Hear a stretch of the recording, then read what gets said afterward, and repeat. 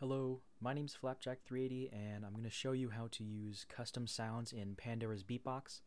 This also works with Pandora's JummBox. Uh, it's the same system, so it should work.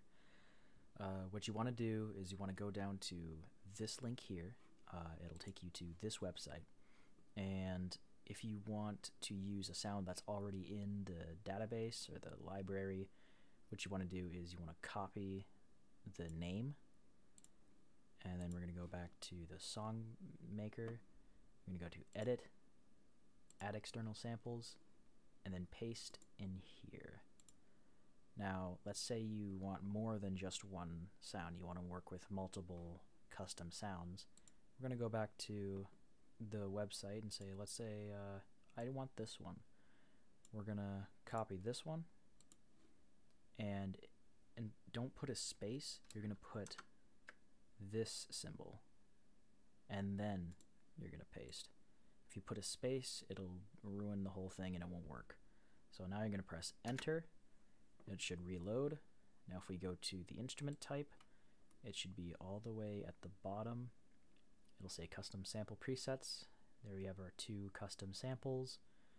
And we go select it and it should work like any other instrument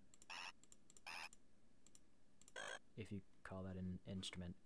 Um, if you want to use your own custom sound, if you want to upload one and use that, uh, to do that, you're going to go to Submit Samples, and you're going to choose a uh, a file. It has to be .wav. So I have a file I'm going to use,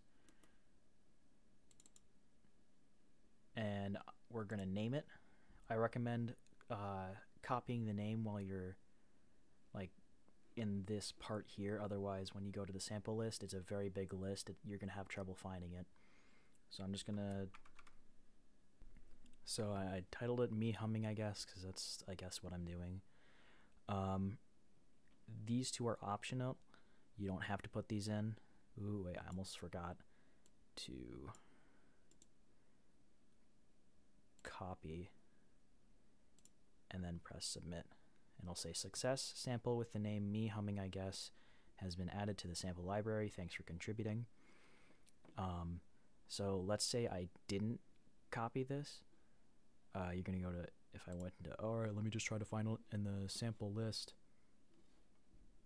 Uh, where is it? I I'm pretty sure it might be at the bottom. Oh yeah, it might. It'll probably just be at the bottom, but still, I think it's just a lot easier to copy it there.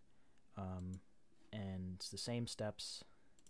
Just go to edit, add external samples, add in the little thing, paste, enter, and it should reload.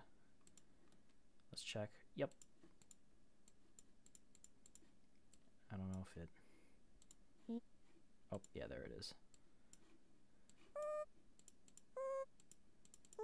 And that's uh and that's how you do the thing with the the thing you know? That's that's all i got